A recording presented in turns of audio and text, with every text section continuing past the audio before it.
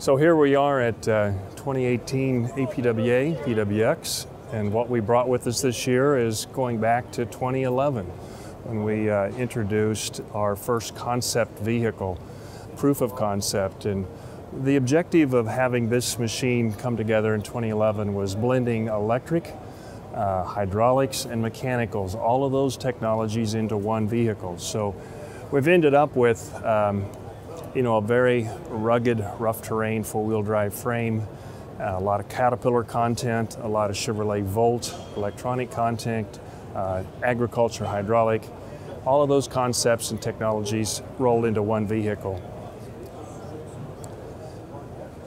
There's actually another prototype uh, version that we had in place uh, that we got a lot of uh, technology and value out of.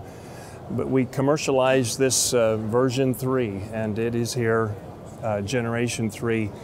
The concept we were after was, of course, multitasking, uh, being able to have any attachments on either end, being able to lift, carry, being able to export hydraulic power, being able to export electric power.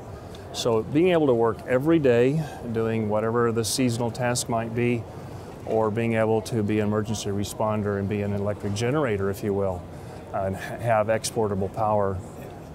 So many different configurations was the objective for uh, Public Works, and that has been further refined, and being able to plug and play different cabs, different operator stations, uh, remote controls, different seats, steering wheels, user interfaces, anything that allows a fleet manager to configure the vehicle the way he wants.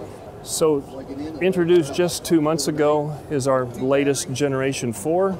We also brought uh, a brand new proof of concept, very small, um, what we call 2.0, and the idea is for city parks, uh, smaller campuses, sidewalks, zoos, and so forth.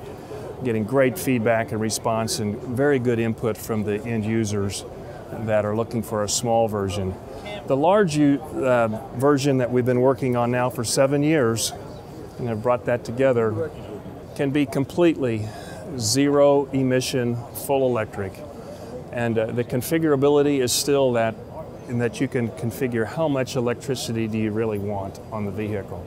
Uh, we are using with great partners like BMW and, and Parker and Dana and Cummins engineering partners that have allowed us to have maximum configurability. So we can have up to 12 uh, automobile electric packs, BMW packs on board.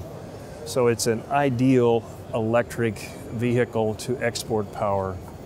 And it's at the same time, these surfaces allow us to have any kind of attachment on the surface and on the ends. Maximum configurability, and being able to choose what kind of hybrid power you want, uh, both electric and, and hydraulic.